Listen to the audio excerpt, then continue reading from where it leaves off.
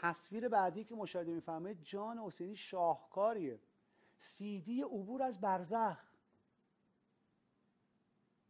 قبض روح شدن میت. یه خورده گنده ترش کن. حمله حیوانات. من فکر می‌کردم تا حالا ما مسخره کردن به خدا. نه همه رو مسخره کردن نیا کنید جون آزینی ببینید چی نوشته. پول می‌گیره چی کار می‌کنه؟ از اول از بالا نشون بده جون تو. سیدی عبور از برزخ.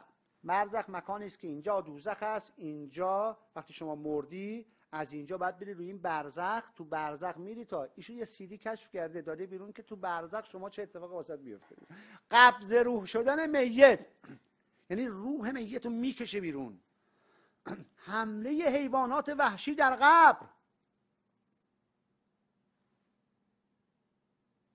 یعنی شما تو قبر که گذاشتنه دقت کنید خواهشم وسط قبر که گذاشتنید اینطوری خوابیدی چش تو وا می‌کنی می‌بینی چهار تا گرگ بالا زده دو عدد شیر وایساده.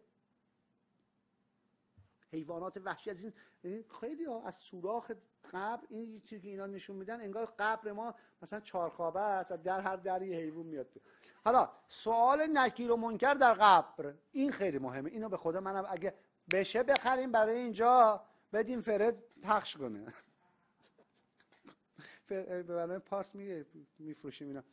سوال نکیر و منکر در قبر یعنی چی؟ یعنی شما وقتی که مردی دو موجود میان نکیر و منکر از شما سوال می‌کنن. How are you? حتی انگلیسیش هم هستا به چند زبان این سوال اومده بیرون. انگلیسی فرانسه هم هست که شما همینطور فقط حفظ می‌کنید. بخش نقی جوخه بعد تو میگی اشقار اشقار اون می‌فهمه. نکیر منکر خودش می‌فهمه. و میان تو قبر وحشت و تنهایی میت در قبر. میتی که مرده تو قبره وحشت از چی داره؟ که اون تو وحشته. انگار مثلا فیلم وحشتناک داریم می‌بینیم فیلم ترسناکه. و موارد دیگر سیدی یک 400 تومان. این قبل دلار بالا بوده پایین بوده است.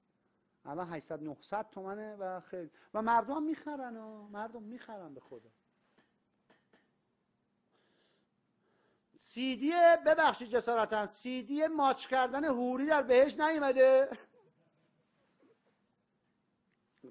من میگم اگر بهشت یک کار اگر می‌خواین سیدی بدین سیدی صحنه دار بدین که دوستان لذتی هم برده باشه. خلاص. قربونتون برم.